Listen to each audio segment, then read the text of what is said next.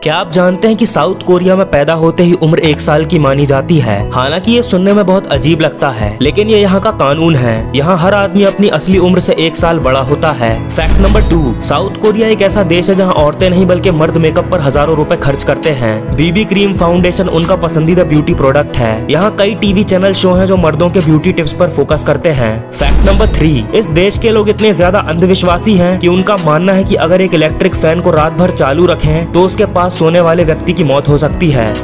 अच्छा। Fact number four इस देश में नंबर फोर जब भी बोला जाता है तो वो मौत शब्द जैसा प्रोनाउंस होता है और नंबर फोर को अशुभ माना जाता है। यहाँ के हालात ये है कि किसी भी जगह लिफ्ट या हॉस्पिटल में नंबर फोर का इस्तेमाल नहीं किया जाता। फैक्ट नंबर फाइव यहाँ के लोग लाल स्याही यानी रेड इंक का इस्तेमाल करने से भी डरते हैं क्योंकि इन लोगों का मानना है कि लाल रंग मौत का सिंबल होता है। इसीलिए यहाँ के लोग लाल रंग का इस्तेमाल नहीं करते